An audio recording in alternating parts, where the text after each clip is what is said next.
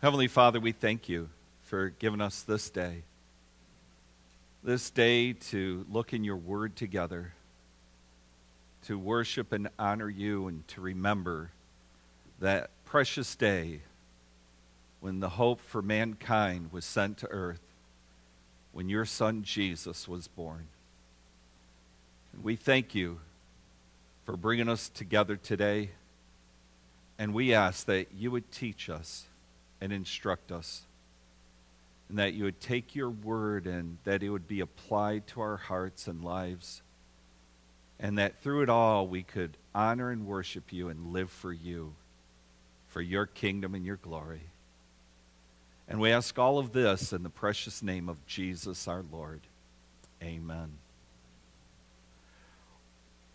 We're going to be in Luke chapter 1, and we're going to look at a few of the, the characters that are associated with the Christmas story. And the first one we're going to really focus on is going to be Mary.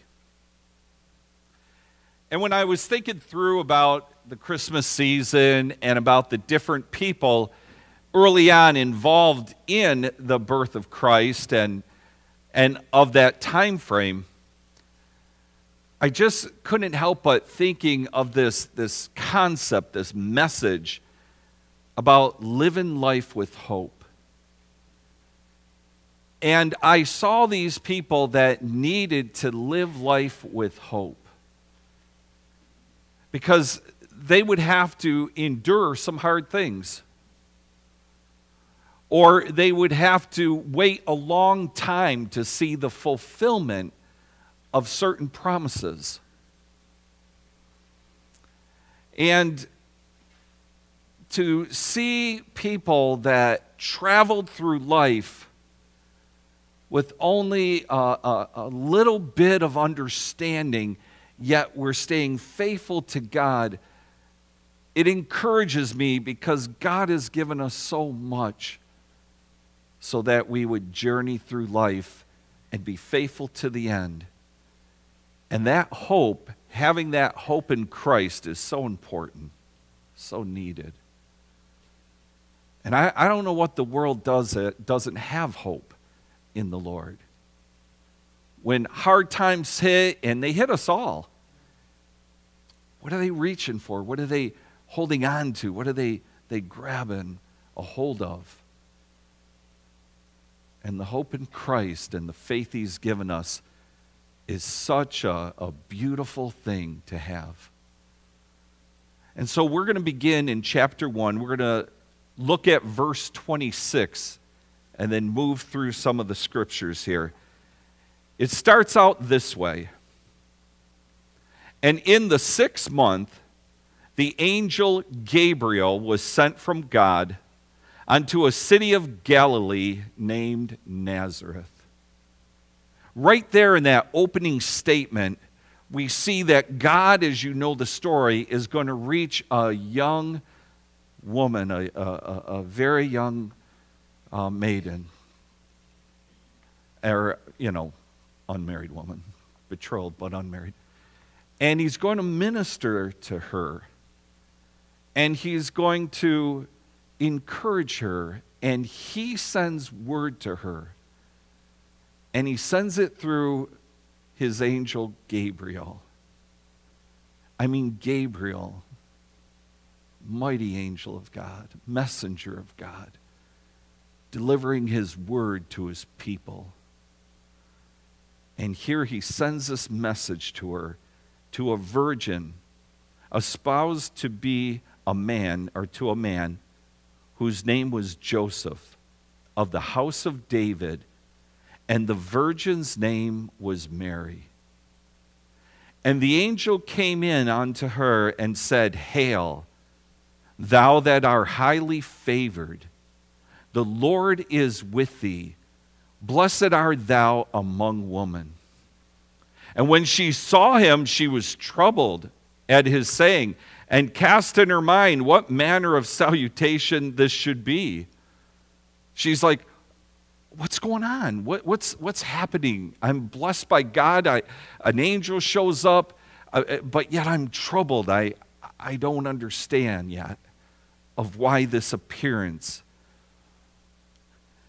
And it says, And the angel said unto her, Fear not. Fear not, Mary, for thou hast found favor with God. And behold, thou shalt conceive in thy womb and bring forth a son, and shall call his name Jesus. And he shall be great and shall be called the Son of the Highest. And the Lord God shall give unto him the throne of his father David. And he shall reign over the house of Jacob forever, and of his kingdom there shall be no end. Now, that is wonderful news that God was stepping into the world and fulfilling a promise to mankind. Stepping into the world and offering mankind hope and salvation and forgiveness of sin. And here God saw this young girl, Mary, young woman, and said to her, Fear not, you are highly favored by God. And you're going to bring forth the, a son, the Messiah, the Savior. And then said Mary unto the angel, How shall this be, seeing I know not a man? I, I've, I'm not formally married. I've never been with a man in that way. How is this going to happen?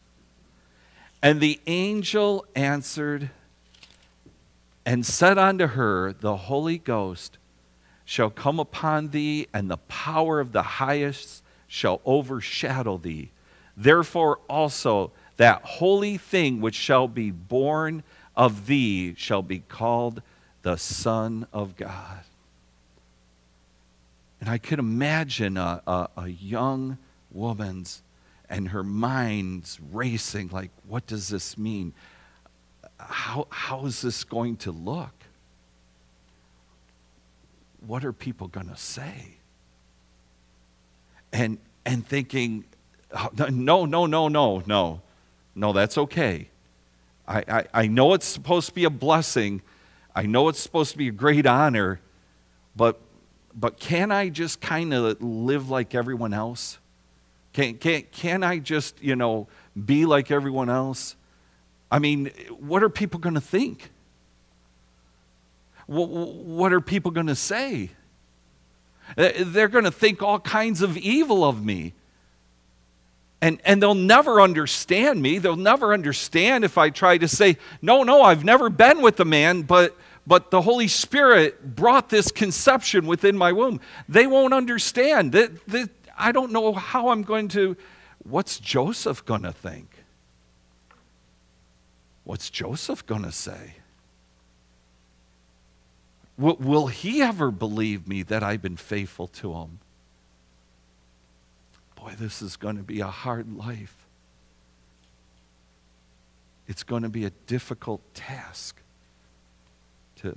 to follow. People are going to think evil of me. They're going to be whispering about me. And yet, none of it's true of the things they'll say. How, how am I going to ever defend myself? If I try to tell them what truly happened, they'll think I'm crazy. They won't get it, they won't understand. This is going to be very difficult. Accepting this, this Son of God this, this Savior to mankind. And, and, and receiving it as a, a gift from God, it's going to be hard to, to live that kind of life out. It's going to be difficult because people are going to mock me. They're going to come against me. They're going to reject me. They're going to they're going to speak all aver, uh, manner of evil against me. I, I'm not sure of this. And yet, I believe Mary needed to remind herself of what God thinks of her, not what man thinks. Not what, what mankind says for, for her believing in the truth of God, embracing what God has for her and then following him with her whole heart regardless of the pressure and the and the and the situation around her and the attacks and and the discouragement and the people that are going to mock her I, I, she had to be able to embrace something in her heart that's going to keep her persevering and going forward in what God has for her.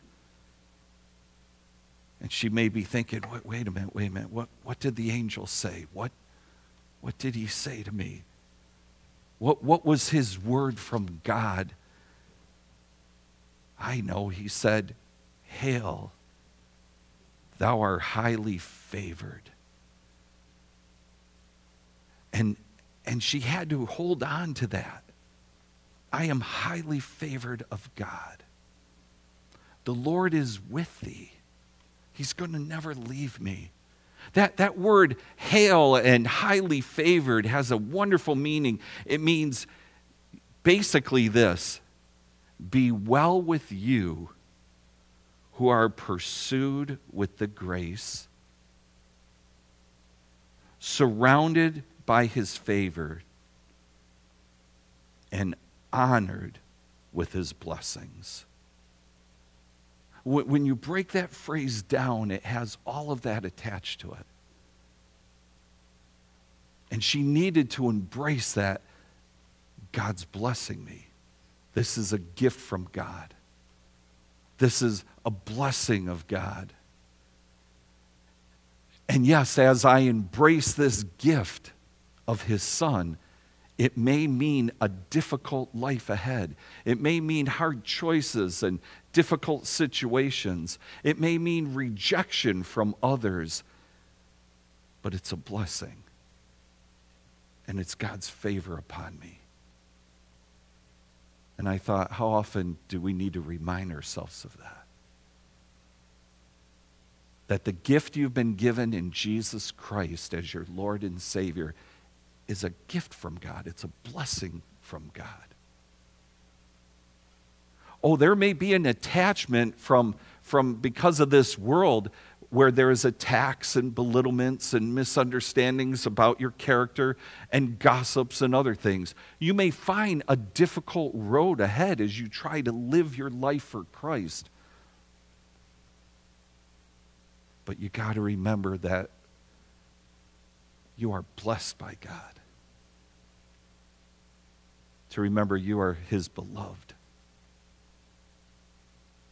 To hold on to the fact that above all others, God has favor upon me. Not that he's a respecter of persons. I'm just saying that above, you know, what I see in the world, for those that don't have the Lord, I have his blessings. I have the favor of God. And that's a richness and, and, a, and a tenderness and a joy that no one can take away.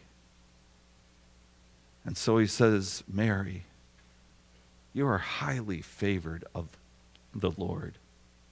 And more than that, the Lord is with you. The, the Lord is with you. And we have that promise too. He's with us. He, he didn't give Mary his son and place his son in her womb with all the stigmatism that would surround it being not knowing a man, truly at this time not being truly married to, to Joseph in that way. But he gave her the gift and he said, And I'm going to go along with you in the journey. I'm going to be with you. And then it says, That the Lord is with thee, and blessed art thou among women. You know, when I see what's going on in people's lives, and sometimes over the years, I got to tell you, I wonder, Lord, why can't I have those things? What, why does it seem like These people don't have any difficulties at all, and I'm attacked constantly. What, Lord, I, I don't get it. And yet she had to hold on to the fact that the Lord had declared to her that thou art blessed. Lord, I have more richness and more wealth in my life because I have you than anyone else.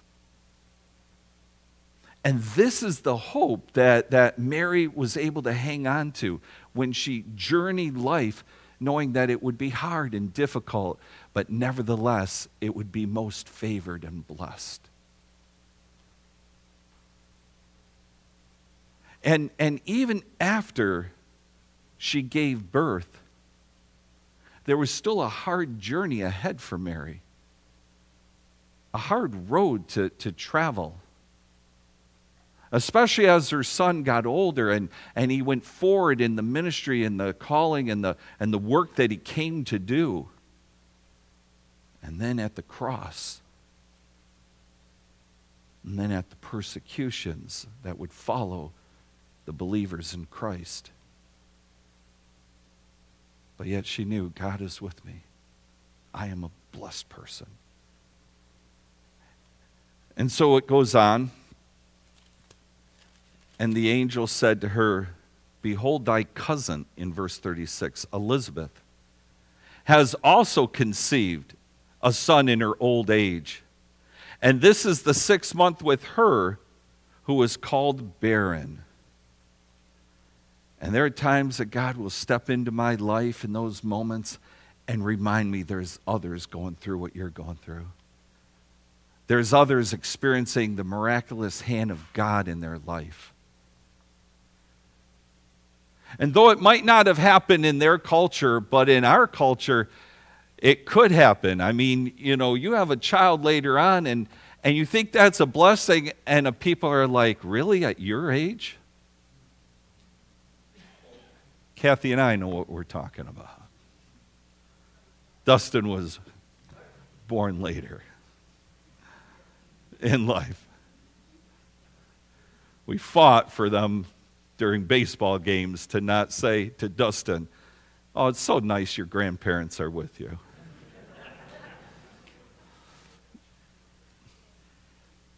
So, but you experience others that are going through things and seeing the mighty hand of God, and praise the Lord for the Elizabeths in your life. The people that you can relate to and hang with and be encouraged by. And God said, Let me tell you something. Elizabeth also was touched. The one who was called barren, she's having a son. Be encouraged, Mary. For with God nothing shall be impossible. And I want to hold on to that truth over and over. Because I'm going to face some things that I know as a fact are impossible. But that's without God. But with God, all things are possible. And I can trust Him in those things, and I can look to Him in those things, and I can have hope in those things. Because you and I have been given a gift of hope in His Son, Jesus Christ. We've been given that gift. And so, with God, all things are possible. And Mary said, Look at, Mary said, Behold the handmaiden of the Lord and this phrase just slayed me Be it unto me according to thy word.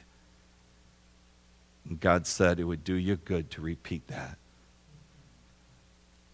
Be it unto me, Lord, according to thy word.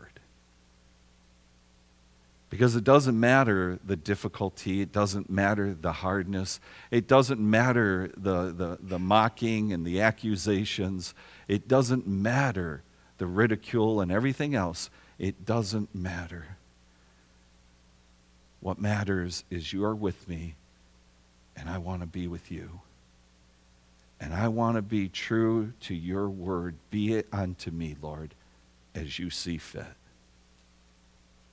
And this was probably not Mary's plan, although the people always wanted the Messiah. I mean, that was a dream of the ladies to give birth, but I don't think they understood how it would happen.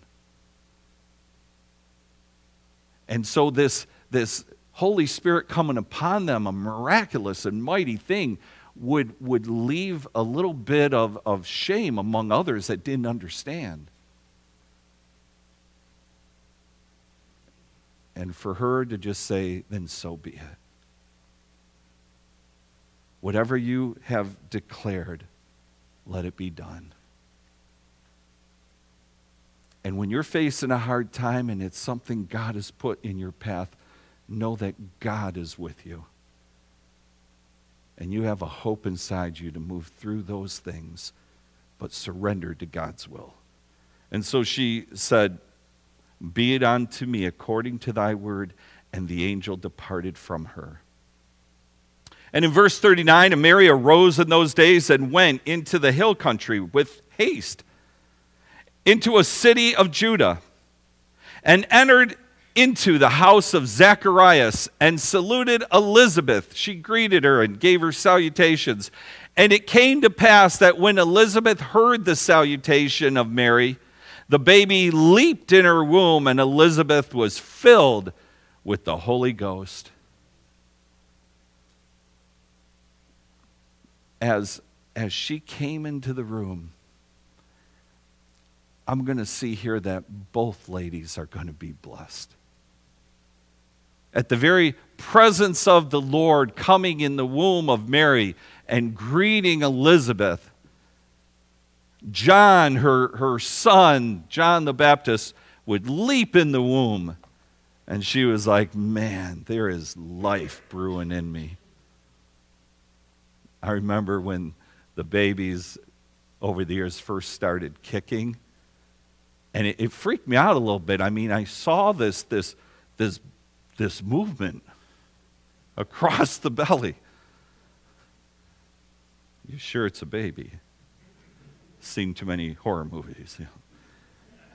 It's a baby. Okay. But it was, a, it was a, a blessing to see life and to know that life was being birthed, coming forth. And, and not only for Elizabeth, but Mary was encouraged. And it says, and she spake out with a loud voice and said, Blessed art thou among women, and blessed is the fruit of thy womb. You know, I got to tell you, there are times that I need to hear that. And there are times you probably need to hear it too. When you're looking at your life and you're thinking it's just, it's filled with trouble and chaos and, and what's going on and I don't understand you need an Elizabeth to step in and say, Let me tell you something. You are highly blessed by God. And I know you can't see it right now, but I want you to know it's true. God has blessed you richly. He's given you his son. He's blessed you with his forgiveness. He's preparing a place for you for all eternity to be with him. You are truly rich and blessed by God. And I want to be the type of person that Elizabeth was in other people's life. And I like kind of hanging around the Elizabeths of the world to bring a blessing and encouragement. And so she encouraged her and said that she was blessed by God. She spoke out and said, Blessed art thou among women, blessed is the fruit of thy womb. And hence is this to me that the mother of my Lord should come to me. For as soon as the voice of thy salutation sounded, or salutation sounded in my ears, the baby leaped in my womb and blessed is she that believed. For there shall be a performance of those things which were told to her from the Lord. And look at, and Mary said, My soul does magnify the Lord. And I thought, what great hope Mary carried. And how it helped her through the walk of life that was before her. The difficulties of the, the shame of, of bearing a child or being pregnant before the official wedding date. The, the hard times that she would face in, in knowing that her son would soon be taken, rejected, crucified. And yet it was a hope that was in her that carried her through. And you and I have that hope. If we open up our heart and accepted Christ as our Savior and know that He died for our sins, then the Bible says that He comes and He dwells inside us. And you and I carry a hope within us a hope that's there not only for our life, but to encourage the life of others. When I was thinking of this, I thought there was another man that carried a hope, and his name is Simeon. If you look at chapter 2, verse 21.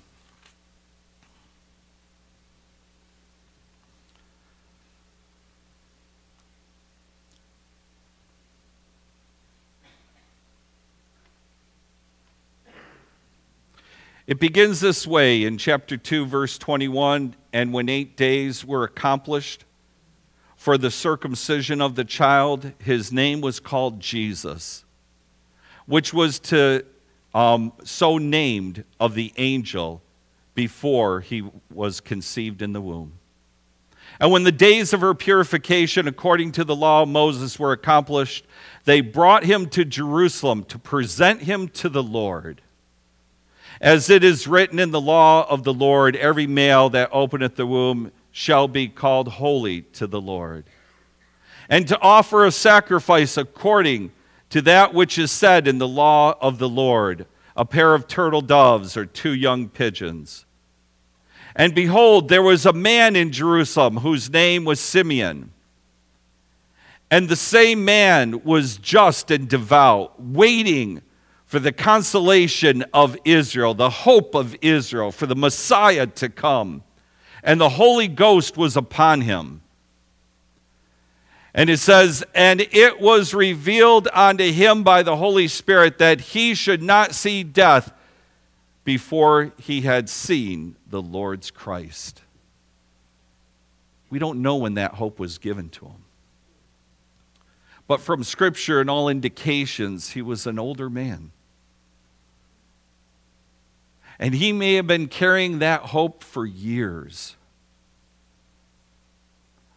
I'm going to see the Messiah. God's promised me that. And I can imagine the, the things that kind of transpired between the beginning of that understanding that God was going to reveal his son to him and the actual time when Jesus was there at the temple I can imagine the, the troubles and the trials and the things that he went through because we're men of like passion. We go through similar things. The same, adver- you know, the, the, um, the same troubles that are upon us, our brothers also face them as well. They have the same afflictions that you and I go through. And yet this man continued to stay devote, devoted to God, faithful to God. I'm going to see the promise. It's going to happen. God told me. Oh, Simeon, you've been saying that for the last 20 years. I don't care. I'm going to see it. God's faithful in what he's declared. And so here he was given this promise of the Lord, and he came by the Spirit into the temple when the parents brought in the child Jesus to do for him after the custom of the law. And then took he him up in his arms and blessed God and said, Lord, now lettest thou thy servant depart in peace, according to thy word. For my eyes have seen thy salvation, which thou hast prepared before the face of all people, a light to lighten the Gentiles and the glory of thy people, Israel. And he's saying, Lord, you came through. You did exactly what you said you were going to do. And he continued to be faithful to God through the whole time. And when I was thinking about that, I thought, how about if that day Simeon said, You know, I've been going to the temple for the last 75 years. And today I'm tired. I'm just going to skip today. I, am just going to skip it. I, I don't think I'll go today. You know, I'm having a hard week. I have so much going on. I got family coming in town. I just, what I think I'm going to do is I'll just take a week or two off. And I thought, wow, you would have missed what you've been waiting for. You may have missed the very promise that was given to you. But the scripture says he was a devout man. He was faithful in the faith. He continued to believe and persevere and go and attend and, and, and follow through. And I thought, Lord, how about if the very thing that I need is waiting for me, either at a Sunday fellowship or at a personal devotion time in my own home? And I think, you know, I'm just a little too tired. I, I just, I had a rough week.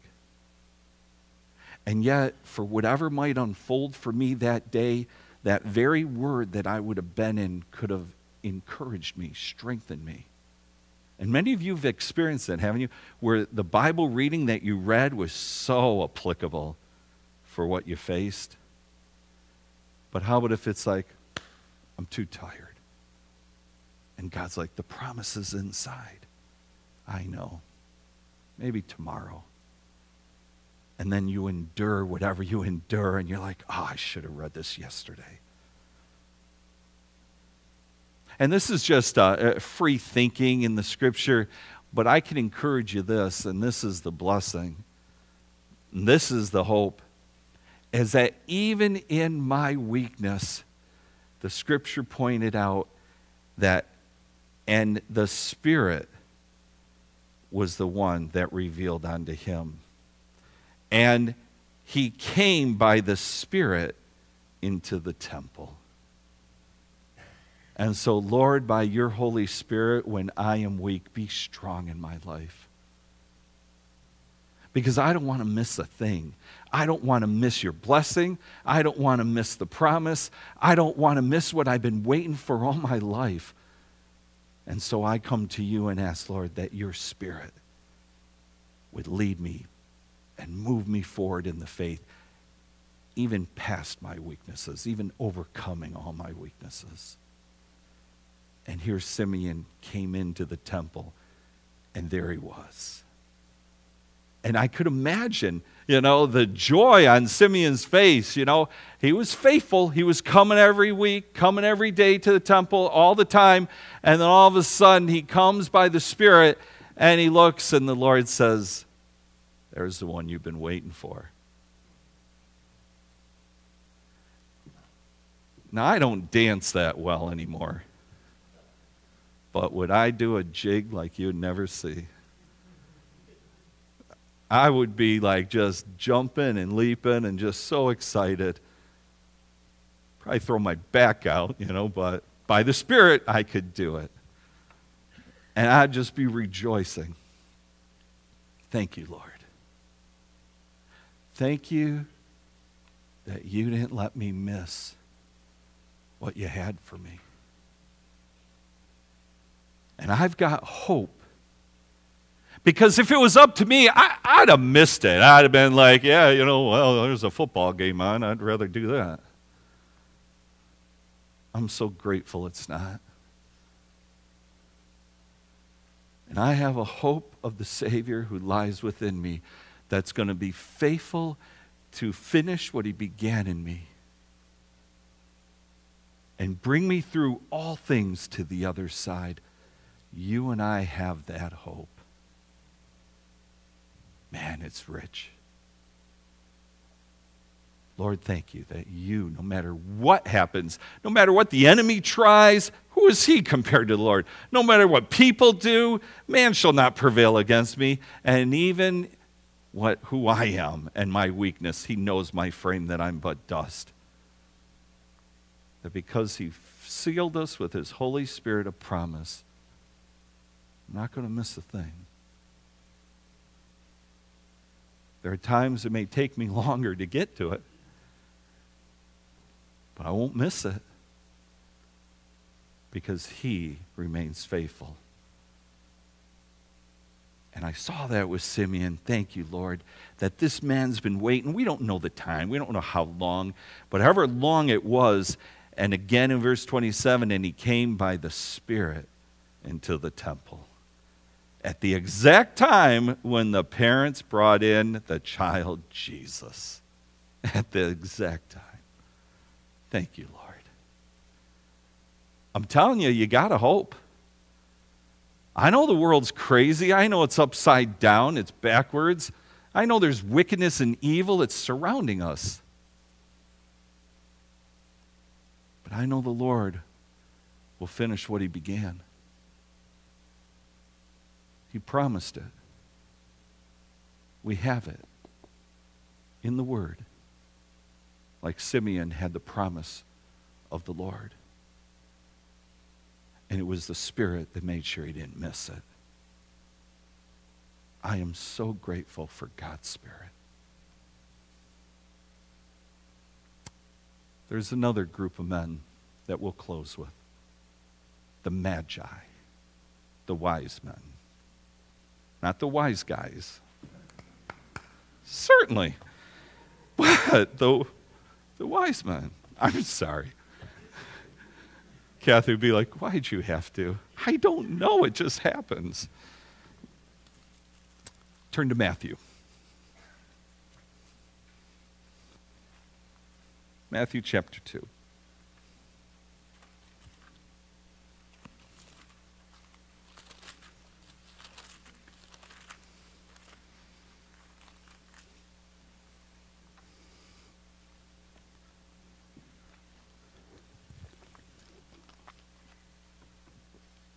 And when Jesus was born of Judea, in the days of Herod the king, behold, there came wise men from the east to Jerusalem, saying, Where is he that is born king of the Jews? For we have seen his star in the east and are come to worship him. And when Herod the king had heard these things, he was troubled, and all Jerusalem with him. A king? A king? What do you mean a king? I'm the king, Herod would think. We can't have another king besides me. What would Rome say? What would happen to us? We can't have this king. This king would interrupt everything. It would distract everything that we want to do and accomplish. We can't have this king because our rule, our reign, our authority needs to continue. There are many in the world that don't want the king so that they can rule their own life. They can rule their cities, their states, and their governments. And they don't want the king. But these guys, they traveled far because they wanted the king. They had a hope in the king. They had a, a, a faith in the Redeemer of Israel. Now, now, where could these guys have gotten that hope? More than likely through Daniel. Daniel shared that hope. Daniel expressed that hope. Daniel, in Daniel chapter 9, was given that hope by an angel. By Gabriel of the hope of the Messiah that would be a blessing to his people. He was given some details about that hope. And as Daniel, being a, a main leader within the kingdoms of the Medo Persian Empire, of Darius the Mede and Cyrus the Persian, there'd be many travelers coming through that area.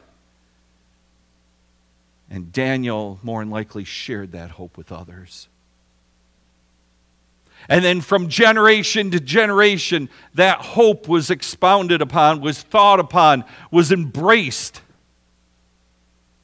And within whether what Daniel said or what the Holy Spirit showed them, that they would be a sign that they would see the rising of this new star that would guide and lead them. And these men live their life waiting to see that star. Just waiting and seeing the signs of the time, and there it was, illuminated in the sky. And they said, We must go. This is, this is something we've been holding on to. This is something we've been waiting for. This is a, a, a, an understanding that we had from a child, and we've been looking and looking and waiting and expecting, and, and there it is. And then they traveled. That they had very little to go on. They had the truth from Daniel that was presented and passed down from generation to generation, and they had a sign a star in the sky but it was clearly enough for them to make the journey. Clearly enough for them to travel the distance. Clearly enough to face whatever opposition they faced or would face because their heart was motivated. We want to worship him. And so they said, Where is he? We don't even know where he's going to be born, but we saw a star. Where is he that is to be born king. And when he had gathered in verse 4 all the chief priests and the scribes of the people together and demanded of them where Christ should be born, and they said unto him in Bethlehem of Judea. And thus it is written by the prophet, And thou, Bethlehem, in the land of Judea, in Judah, thou shalt um, be least among the princes of Judah. For thou art, or out of thee shall come forth a governor that shall rule my people Israel. And when Herod had privily called the wise men, inquired of them diligently that what time the star appeared, and he sent them to Bethlehem and said, Go and search diligently for the young child, and when you have found him, bring word again that I may come and worship him also. Herod wasn't going to worship him. Herod was going to kill him. He didn't want a king ruling over his life, he wanted to be king. And there are many when we travel that we're going to face that either outright reject who we're seeking, who we're waiting for, or they're going to be pretenders along the way. But our focus needs to be that's where we're going. I'm traveling to get to the feet of Jesus that I may worship him. And this is what they did. And when they had heard the king, they departed, and lo, the star which they saw in the east went before them till it came and stood over where the young child was. And when they saw the star, they rejoiced with exceeding great joy. And when they were come into the house, they saw the young child with Mary his mother and fell down and worshipped him. And when they had opened their treasures, they presented unto him gifts of gold and frankincense and myrrh. And being warned of God in a dream, they should not return to Herod. They departed out of their country another way. And I saw these wise men, and I saw them with this hope. And they had very little to go on. They had the teachings of Daniel, and they had a sign, a star. And yet they were determined I'm going to journey until I get to him, and I'm going to come and worship him. And I'm going to take my treasures and I'm going to cast them at his feet. I am so grateful that the Lord came. I am so grateful that Jesus came and died for our sins and rose again, has sealed us with the Holy Spirit of promise, has given us the hope to live this life continually and with an expectation of his soon return. And I have a lot of scriptures that speak to it. They had what Daniel said. And I have many signs that I'm seeing unfold before my eyes with Israel becoming a nation, with the rise of wickedness and evil, with the things that God has declared would happen in these last days. And I want my eyes to continue to see because my goal is the same. I can't wait to get to his feet and worship him. To get to the feet of Jesus and worship him, and then take all the treasure that he's allowed me to gain, the crowns, if you would, and cast them at his feet and say, Your Lord. And Paul said, A crown is laid up for me, but not just for me only, but all those that love is appearing. And I encourage you as we're journeying with the Lord, as we're journeying to come before Him, to, to stand before Him in heaven, He has given you great hope for the journey. And He's given you His Holy Spirit to journey with you the Spirit of God, who is your helper, your teacher, your strength, your guide, your wisdom, and of course, your comforter. And you can trust in His Spirit to get you home. I tell you, it's better than any GPS out there. They mess me up Turn here. Turn here. Recalculating. They've sent us on wild goose chases, but my Lord will send me before his throne. And I'll kneel down and bow. And you know what else I have? And I'll close with this. What else you and I have that maybe they didn't? We have each other. We have the family of God. And when I'm getting a little discouraged, I got a brother, an Elizabeth, if you would, that's going to come alongside me. I've got a, a you know, a Barnabas that's going to come and encourage me. I've got someone who's going to say, Come on, Kirk, keep going. It's worth it. Let's keep going. One more step. I can't take another step. Yes, you can because the Lord is with you. And I want to be that encourager to you. We've got the family of God. So thank you, my brothers and sisters, for journeying with me. And I am more than happy to journey with you. Let's keep our eyes on where we're headed and the coming of our Savior, Jesus Christ. So I say, Merry Christmas. Father, thank you for the time that you've given us. We rejoice in who you are, in what you have in your faithfulness because there are times that I, I'm not so faithful. But yet you remain faithful. And each one of us can hold those promises and declare them to be true and amen. Because our God is the one who will fulfill them. So thank you for the hope that, that lies within us. And may we spread that hope and those tidings of great joy, may we spread those to the world around us. but here, now, and on into eternity, we worship you and praise your holy name. We thank you in Jesus' name. Amen.